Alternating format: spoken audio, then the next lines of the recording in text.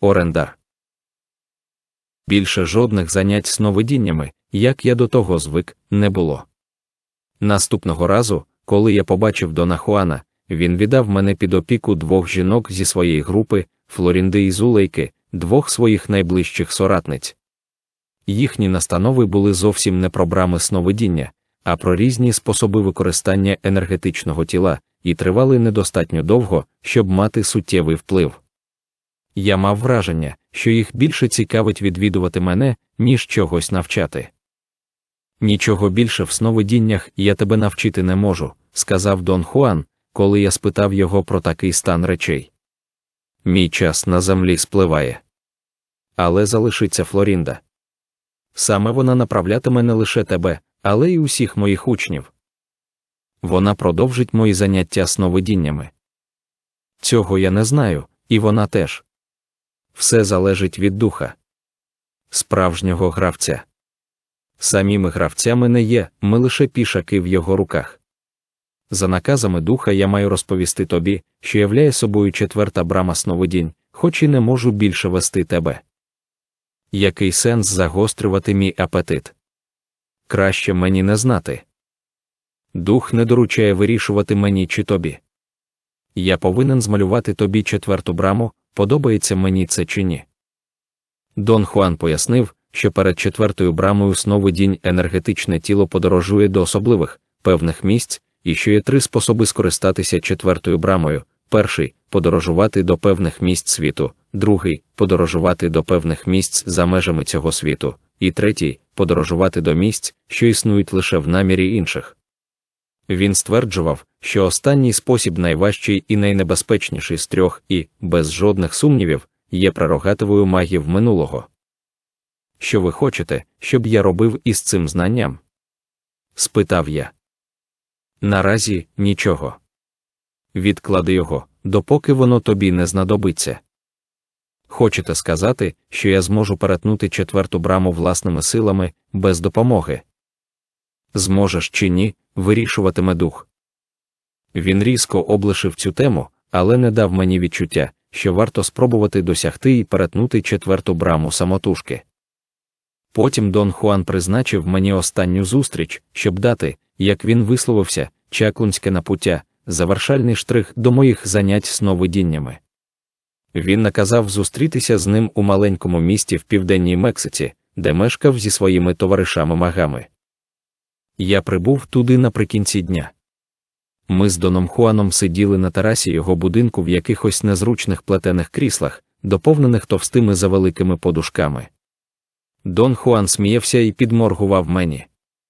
Крісла були подарунком від однієї з жінок його групи, і ми мали просто сидіти, наче нас ніщо не турбує, особливо його. Крісла придбали для нього у Фініксі, штат Аризона, і з величезними труднощами доправили до Мексики. Дон Хуан попросив прочитати йому вірш Ділана Томаса, який, з його слів, мав найактуальніше значення для мене на цю мить. Я так прагнув поїхати геть. Від зужитих неправд шипіння і старих жахів голосіння. Все нестерпніших, коли день. Через гору сповзає в глибини моря. Я так прагнув поїхати, якби не страх. Що, як раптом життя, не прожите донині. Зі старого багаття неправд спалахне. І, тріскучими іскрами в небо злетівши, засліпить мене. Дон Хуан підвівся зі словами, що піде прогулятися площею в центрі міста. Він попросив мене піти з ним. Я одразу вирішив, що вірш пробудив у ньому негативне відчуття, і йому потрібно розвіяти його. Ми дійшли до квадратної площі, не промовивши ні слова. Двічі обійшли навколо неї, все не розмовляючи.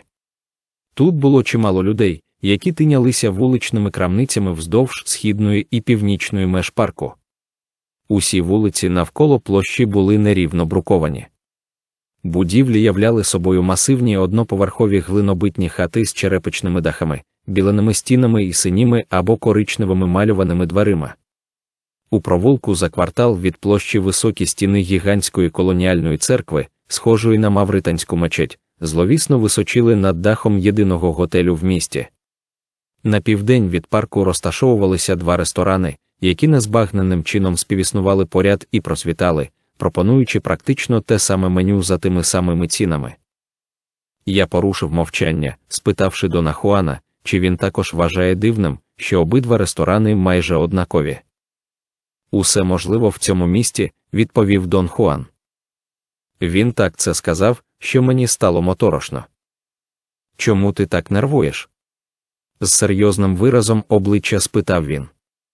Ти щось знаєш і не кажеш мені? Чому я нервую? Це смішно.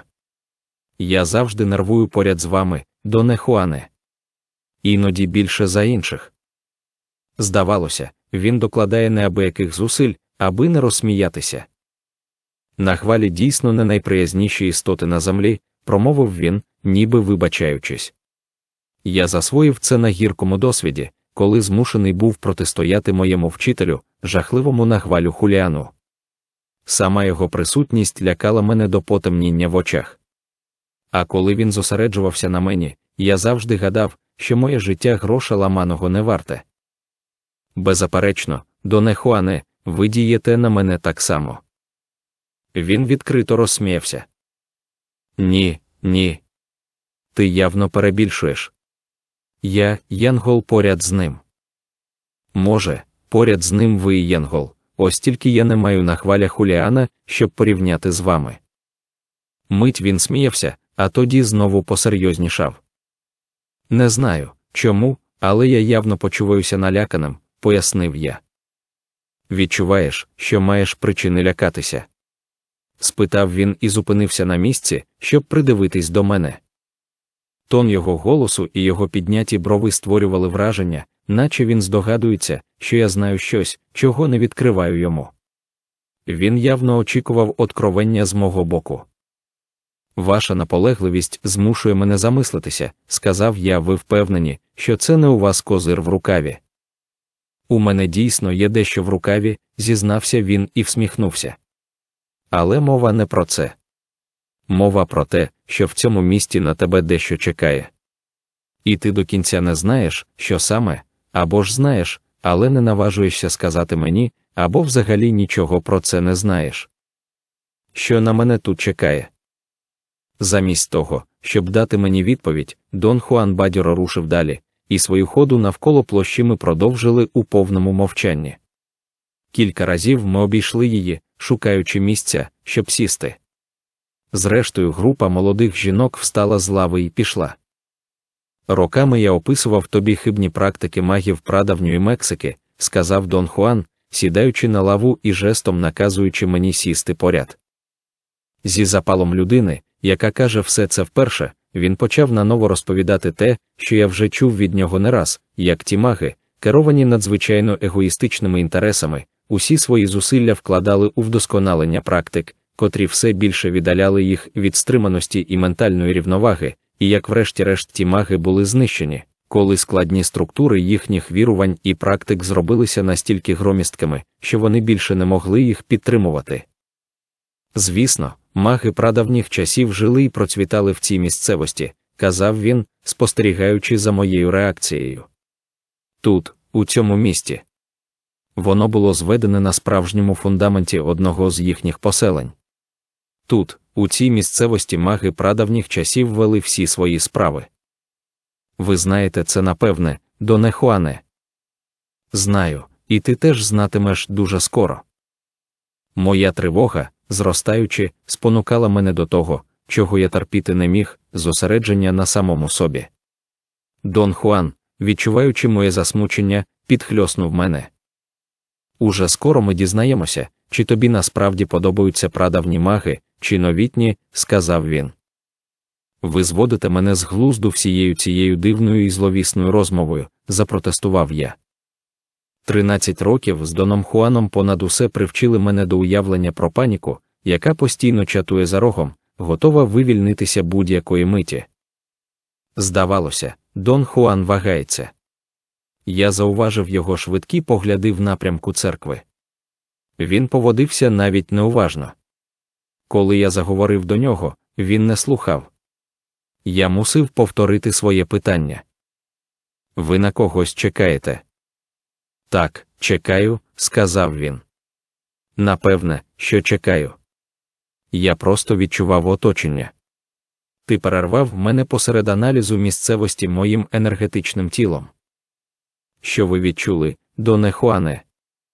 Моє енергетичне тіло відчуває, що все на місці. Вистава відбудеться сьогодні. Ти головний герой. Я характерний актор у маленькій, але значній ролі. Мій вихід у першому акті. Про що, заради Бога, ви кажете? Він не відповів мені. Усміхнувся з розумінням. Я готую ґрунт, сказав він. Так би мовити, розігріваю тебе, твердячи про те, як сучасні маги дістали важкий урок. Вони усвідомили, що, лише зберігаючи повну відстороненість, можна здобути енергію, щоб бути вільними. Їхня відстороненість особливого типу, породженого не страхом чи лінощами, а переконанням.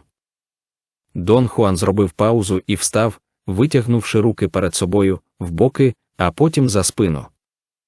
Зроби так само, порадив він. Це розслабляє тіло, а ти маєш бути дуже розслабленим, щоб зустрітися з тим, що чекає на тебе сьогодні. Він широко всміхнувся. Сьогодні на тебе чекає або повне відсторонення, або відверта поблажливість. Це вибір, який мусить зробити кожен нахваль моєї школи. Він знову сів і глибоко вдихнув. Здавалося, сказане ним забрало в нього останні сили. Гадаю, я можу зрозуміти відсторонення і поблажливість, продовжував він, тому що мав привілей знати двох нахвалів, мого покровителя, нахваля Хуліана і його покровителя, нахваля Еліаса. І спостерігав різницю між ними двома. Нахваль Еліас був відстороненим настільки, що міг відкинути запропонований дар сили. Нахваль Хуліан був також відстороненим, але недостатньо, щоб відмовитись від такого дару. Судячи з того, як ви говорите, сказав я, я сказав би, що ви збудеться поставити сьогодні наді мною якийсь дослід. Це так. Я не маю влади ставити на тобі будь-які досліди, але дух має, сказав він з усмішкою, а тоді додав я лише його агент. І що дух збирається зі мною робити, Доне Хуане? Можу лише сказати, що ти дістанеш урок сновидінь, якими зазвичай бувають ці уроки, але дістанеш його не від мене.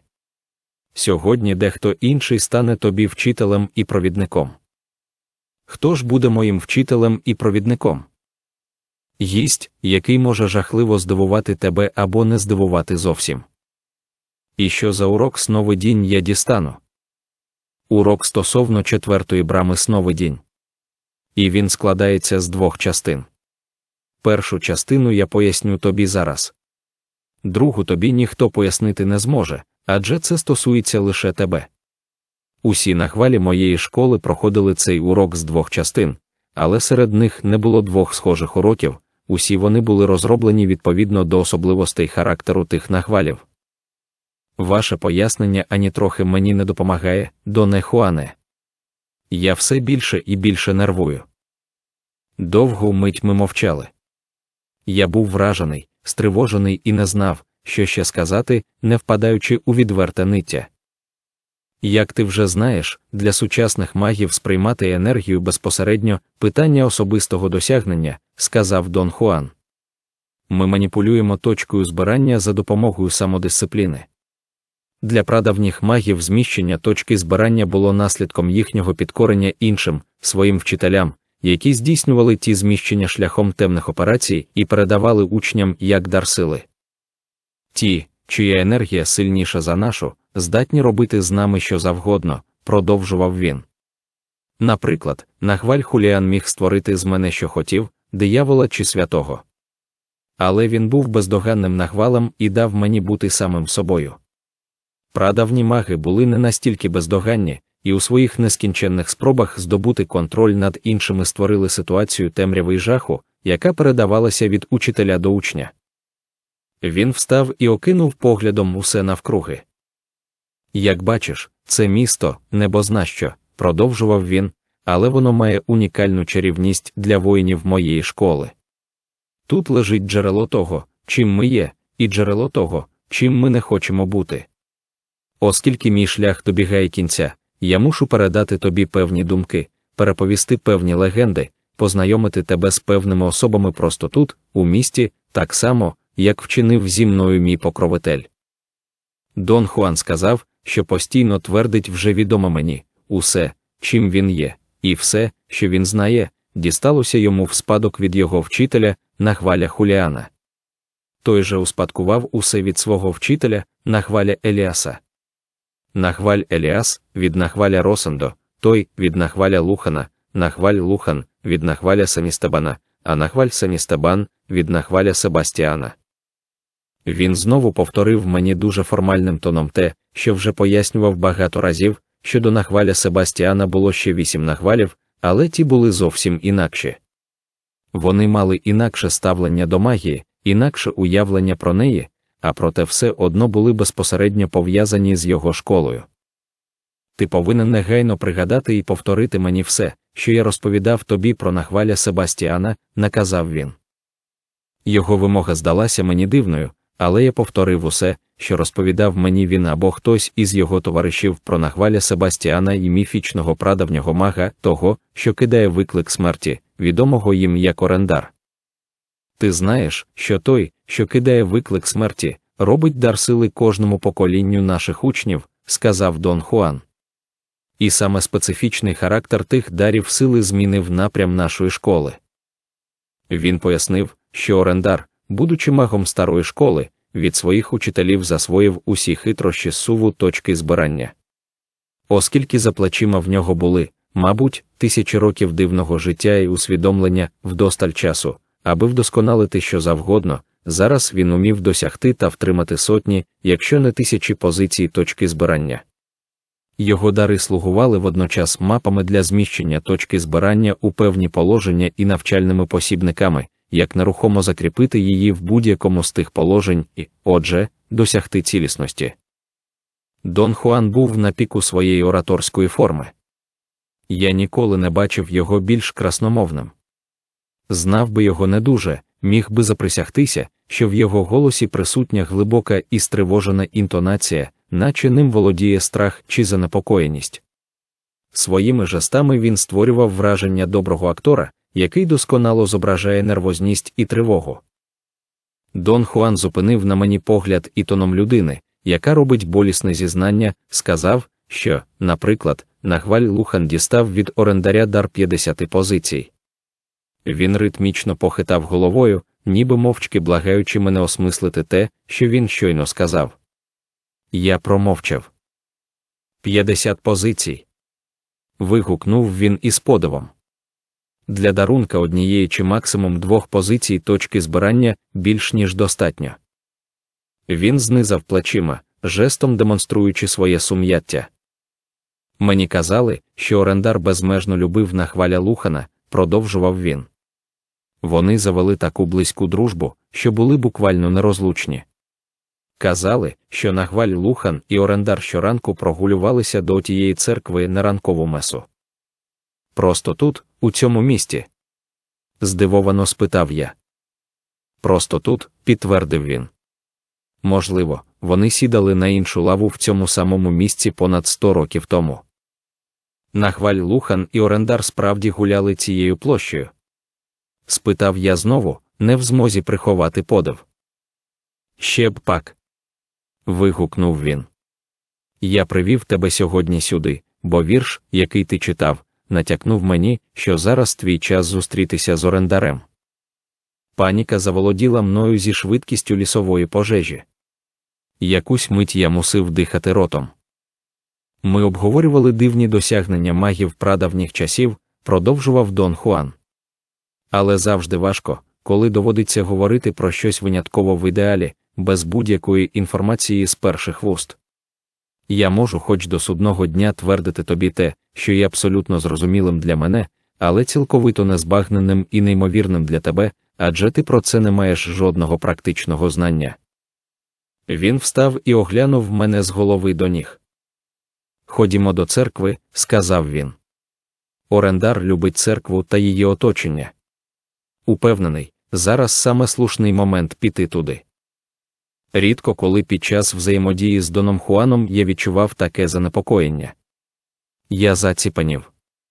Усе моє тіло дрижало, коли я підводився. Мій шлунок був наче вузлом зав'язаний, і все ж я без жодного слова рушив слідом за ним, коли він попрямував до церкви. З кожним кроком мої коліна мимоволі підгиналися і тремтіли.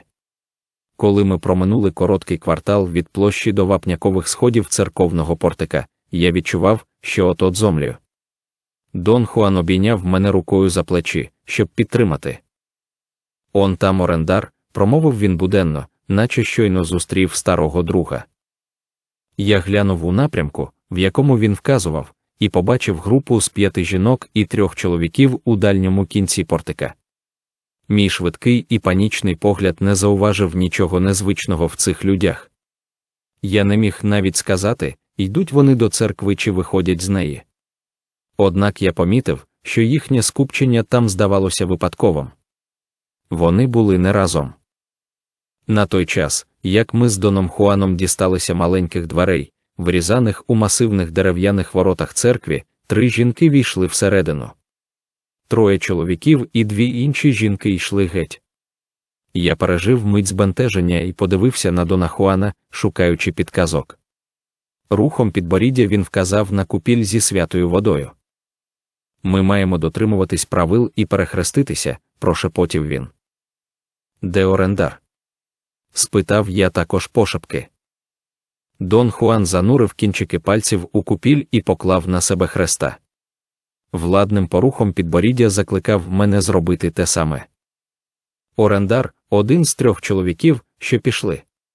Прошепотів я майже йому на вухо. Ні, пошепки відповів він.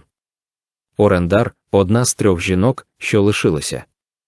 Он та, у задньому ряду. Тієї миті жінка в задньому ряду озирнулася на мене, всміхнулася і кивнула мені. В один стрибок я опинився біля дверей і вибіг звідти. Дон Хуан побіг за мною. З неймовірною спритністю він обігнав мене і схопив за руку. Куди це ти? Спитав він, лицем і тілом здригаючись від сміху. Він міцно тримав мене за руку, доки я великими ковтками втягував повітря. Я буквально задихався. Сміх розгонисто вивергався з нього, наче океанськими хвилями. Я силою відсторонився і пішов у бік площі. Він рушив слідом за мною. Ніколи не уявляв, що ти так засмутишся, сказав він, усім тілом трусячись від усе нових напливів сміху. Чому ви не розповіли мені, що орендар жінка? Мах усередині це той, що кинув виклик смерті, урочисто промовив він. Для такого мага, настільки вправного в зміщенні точки збирання, бути чоловіком чи жінкою лише питання вибору чи зручності. Це перша частина уроку сновидінь, який я тобі обіцяв. А той, що кинув виклик смерті, загадковий гість, який проведе тебе крізь це. Він тримався за боки, захекавшись від сміху. Я не міг дібрати слів. Потім раптовий гнів заволодів мною. Я злився не на Дона Хуана, не на себе і не на когось зокрема. Це була холодна лють, від якої мої груди та всі мої шийні м'язи, здавалося, от-от мали вибухнути. Повернімося до церкви, вигукнув я і не впізнав власного голосу. Ну ну, м'яко сказав він. Не треба кидатись у вогонь ось так. Подумай. Обміркуй. Зваж усе. Охолоди свій розум. Ніколи в житті ти не складав такого іспиту. Зараз тобі потрібен спокій. Я не можу казати тобі, що робити, продовжував він. Можу лише, як і будь-який інший нахваль, поставити тебе перед викликом, після того, як у дуже непрямих термінах розповім тобі все, що належить. Це ще один прийом нахвалів казати все не кажучи або питати не питаючи. Я хотів швидко покінчити з цим. Але Дон Хуан сказав, що коротенька пауза відновить те, що лишилося від моєї впевненості в собі. Мої коліна, здавалося, от-от не витримають. Дон Хуан турботливо висадовив мене на пагорб і сам присів біля мене. Перша частина згаданого уроку сновидінь полягає в тому, що чоловіче чи жіноче єство є не остаточним станом, а наслідком особливого акту розташування точки збирання, сказав він. І цей акт, звісно, питання вольових зусиль і тренування. Оскільки ця тема була близька серцям прадавніх магів, вони єдині, хто може пролити на це світло. Мабуть, тому, що це була єдина раціональна дія, я почав сперечатися з Доном Хуаном. Я не можу погодитися чи повірити в те, що ви кажете, сказав я, і я відчув, як жар приливає до мого обличчя. Але ти бачив жінку, відпарирував Дон Хуан. Гадаєш, це все якийсь трюк. Я не знаю, що думати. Та особа в церкві, справжня жінка, з натиском сказав він. Чого б це тебе так турбувало? Те, що вона народилася чоловіком, лише підтверджує силу маніпуляцій прадавніх магів. Це не мало б тебе дивувати. Ти вже втілив усі закони магії. Усе в мене всередині готове було вибухнути від напруги. Звинувачувальним тоном Дон Хуан заявив, що мені просто охота посперечатися. З вимушеним терпінням, але справжнім пафосом я пояснив йому біологічні засади чоловічої і жіночої статі. Я все це розумію, сказав він. І ти маєш рацію в тому, що кажеш. Твоя хиба в тому, що ти намагаєшся зробити свої судження універсальними. Те, про що ми говоримо, базові принципи, гримнув я, вони однаково стосуються людини тут чи в будь-якій іншій точці всесвіту. Правда. Правда, тихим голосом погодився він. Усе, що ти кажеш, правда, доки наші точки збирання зберігають своє типове положення.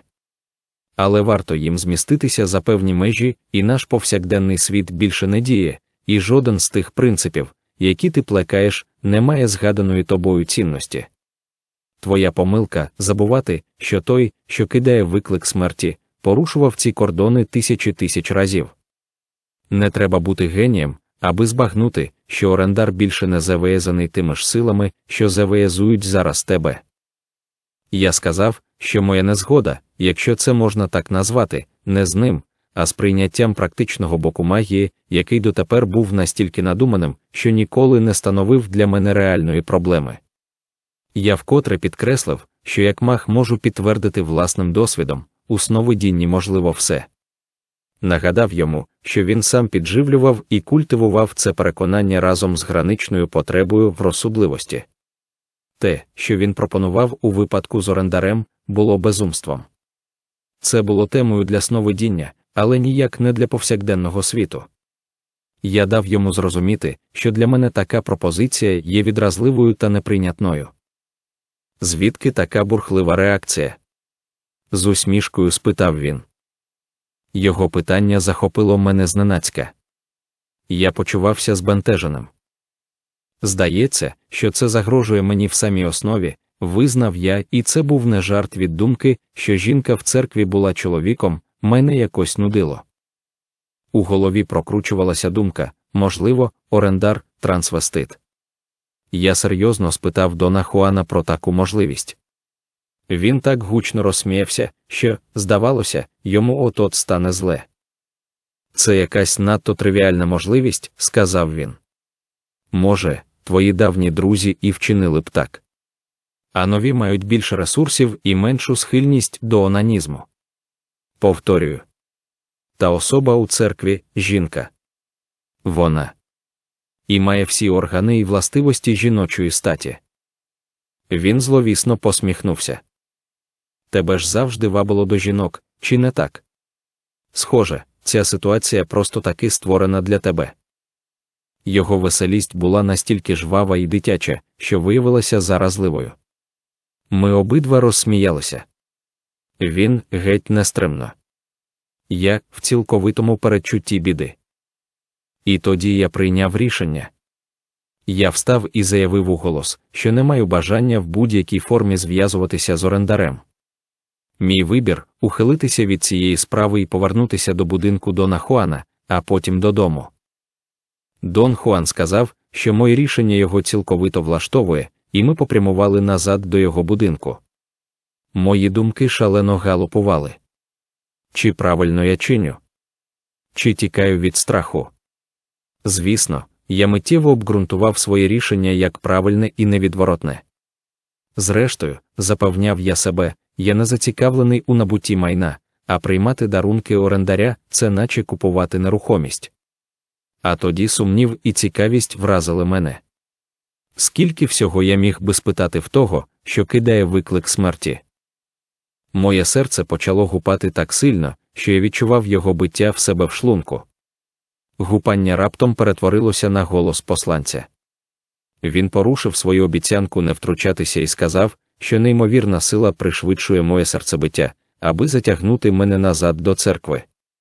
Іти до будинку Дона Хуана означало для мене йти назустріч власній смерті. Я зупинився і квапливо випалив Дону Хуану слова посланця. Це правда? спитав я.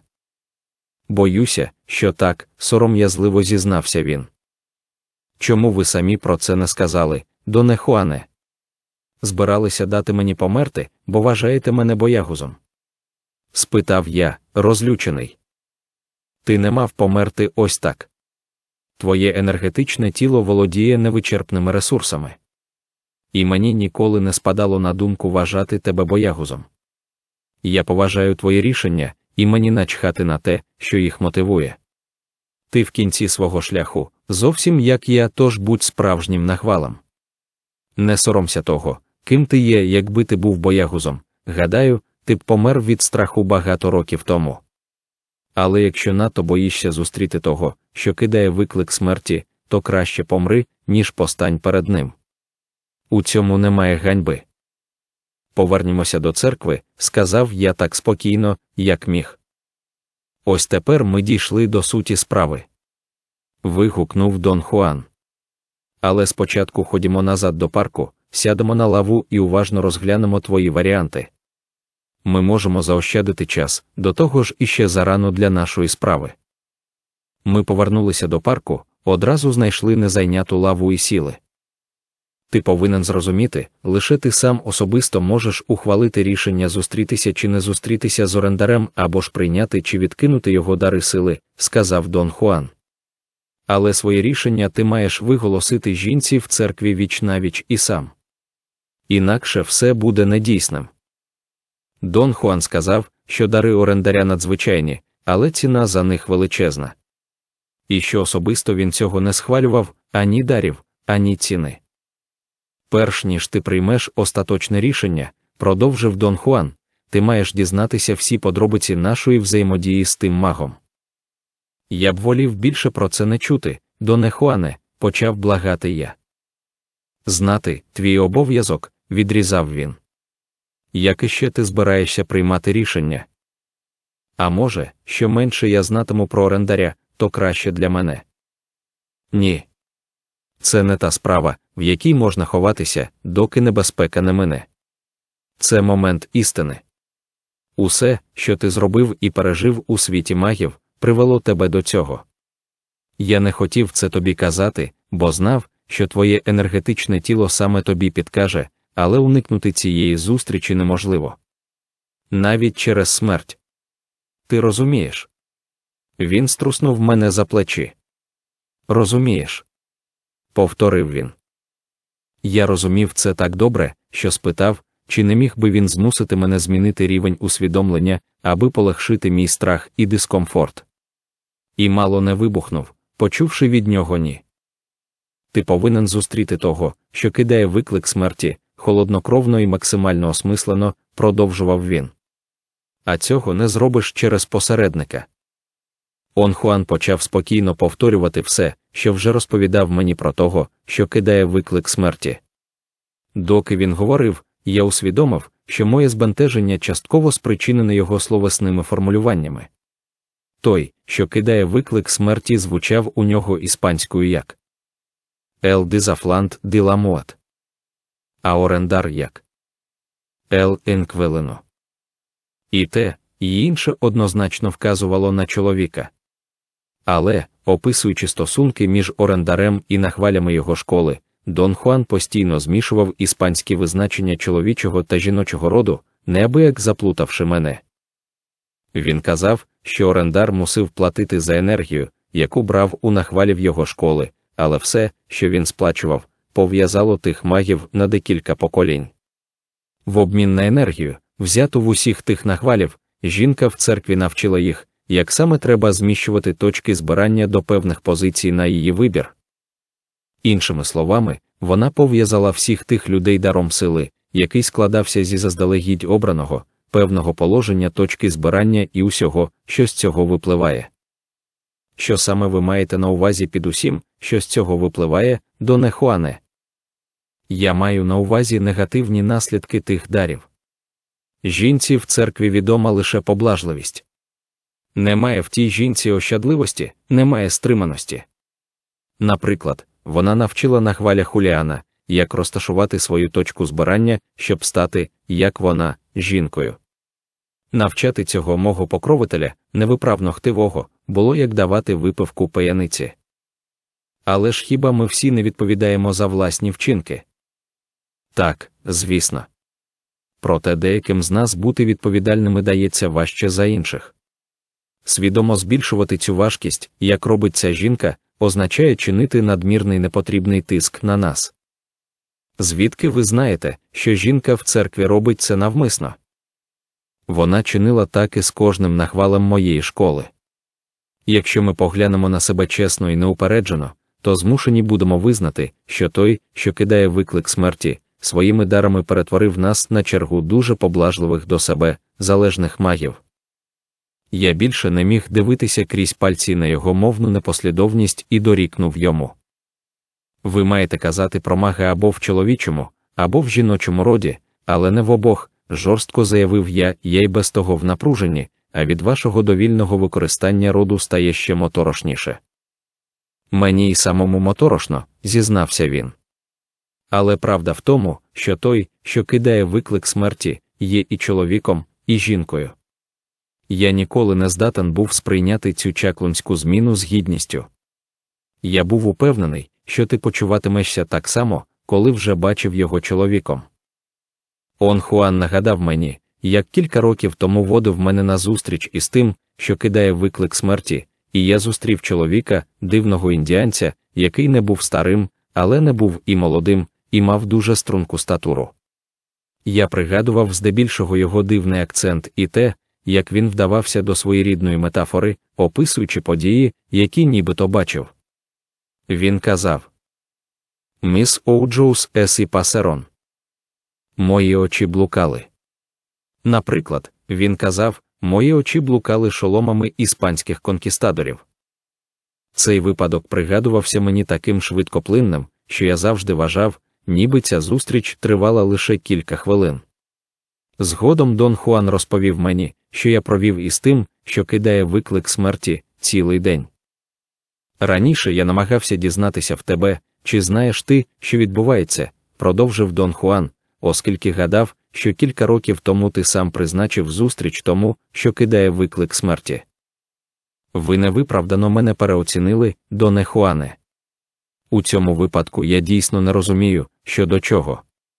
Але звідки у вас така думка, що я це знав? Той, що кидає виклик смерті, начебто вподобав тебе. І для мене це означало, що він уже міг зробити тобі дар сили, хоч ти цього і не пам'ятаєш. Або він міг влаштувати тобі зустріч із собою, як із жінкою. Я навіть підозрював, що вона дала тобі точні вказівки.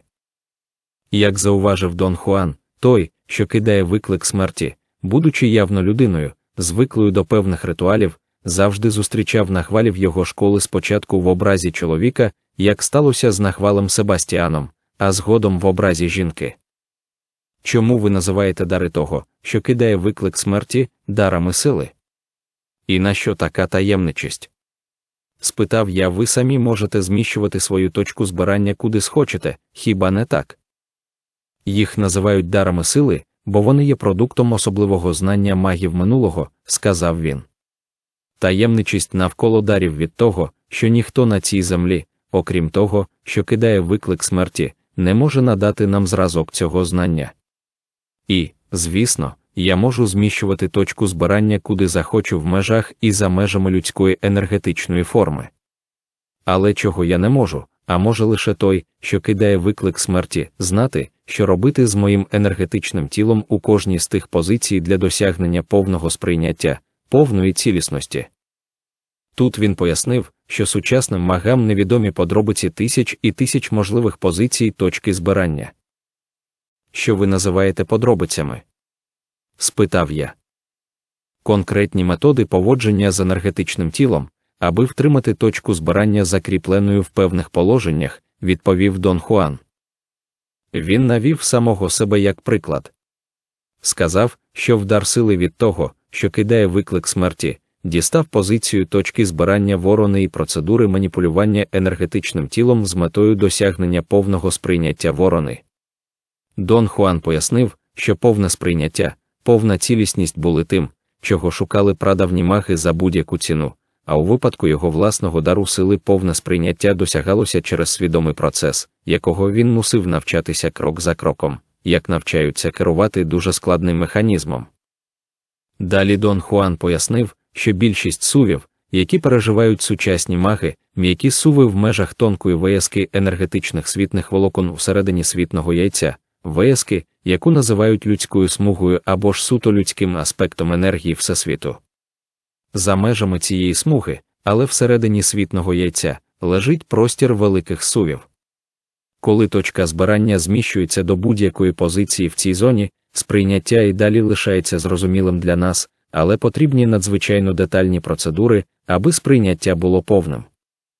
Під час вашої останньої подорожі неорганічні істоти ОБК рутили тебе і Керол Тігс, допомігши вам двом набути повної цілісності шляхом великого суву, сказав Дон Хуан.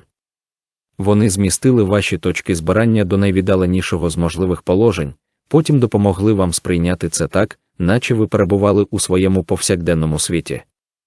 Майже неможлива річ. Для досягнення цього типу сприйняття магові потрібне практичне знання або впливові друзі. Твої друзі зрадили б тебе врешті-решт і покинули вас із Керол розбиратися самим, навчаючись практичних способів виживання в тому світі. Ви обидва закінчили б, по самі вінця набиті практичними процедурами, зовсім як ті найбільш обізнані маги минулого. Кожен великий сув має окреме внутрішнє застосування, продовжував він, які маги сучасності могли б опанувати, коли б уміли зафіксувати точку збирання на досить довгий час під час будь-якого великого суву. Лише маги прадавніх часів володіли особливим знанням, потрібним, щоб таке зробити. Далі Дон Хуан сказав, що знання особливих процедур, потрібних для сувів, не було доступне восьми нахвалям, попередникам Себастіана, і що орендар навчив нахваля Себастіана, як досягти повного сприйняття в десяти нових позиціях точки збирання. Нахваль Сеністабан дістав сім позицій, нахваль Лухан 50, нахваль Росендо 6, нахваль Еліас 4, нахваль Хуліан 16, йому ж показали дві. Тобто загалом 95 особливих позицій точки збирання, відомих його школі. Він сказав, що якби я спитав його, чи вважає він це перевагою його школи, він відповів би, що ні, адже тягар тих дарів ще більше наблизив їх до духу прадавніх магів. Тепер твоя черга зустрітися з орендарем, продовжував він.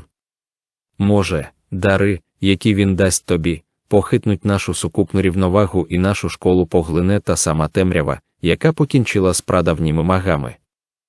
Ви кажете це з такою жахливою серйозністю, що аж нудить, сказав я. З усією щирістю співчуваю тобі, з серйозним обличчям відповів він. Знаю, тебе не втішить, якщо я скажу, що це найважче випробування для сучасного нахваля. Зустріч із чимось настільки старим і загадковим, як орендар, викликає не захват, а відразу. Принаймні в мене, і це досі так.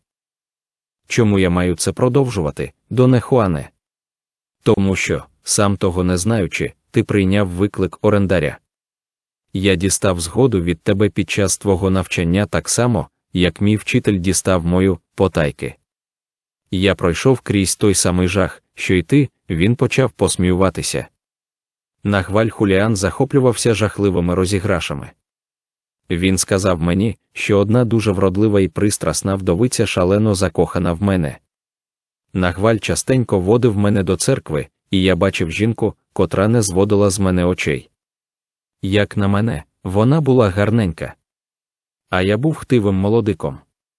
Коли Нагваль сказав, що я їй подобаюсь, я впіймався на це. Моє прозріння було дуже жорстоким. Я мусив боротися з собою, щоб не розсміятися з жесту втраченої наївності Дона Хуана. А тоді раптом я усвідомив, що його халепа викликає не сміх, а жах. Ви впевнені, Доне Хуане, що та жінка орендар? спитав я, сподіваючись, що, може, це помилка чи поганий жарт. Я дуже, дуже впевнений, сказав він. До того ж, навіть якби я був настільки дурний, щоб забути орендаря, моє бачення не може підвести мене. Хочете сказати, Доне Хуане, що орендар має інший тип енергії? Ні, не інший тип, але, безумовно, інші енергетичні риси, ніж звичайна людина. Ви абсолютно впевнені, Доне Хуане, що та жінка орендар. Не вгавав я, керований дивною відразою і страхом. Та жінка орендар. Вигукнув Дон Хуан голосом, що не припускав жодних сумнівів. Ми мовчали. Я чекав наступного кроку, охоплений панікою, яка не підлягала опису. Я вже казав тобі, що бути справжнім чоловіком чи справжньою жінкою залежить від розташування точки збирання, сказав Дон Хуан. Під справжнім я маю на увазі того, хто народився чоловіком або жінкою. В очах виця найяскравіша ділянка точки збирання спрямована назовні в жінок і всередину в чоловіків. Точка збирання орендаря від початку була спрямована всередину, але він змінив це, обернувши її у зворотному напрямі і зробивши свою яйцеподібну форму схожою на мушлю, загорнуту в саму себе.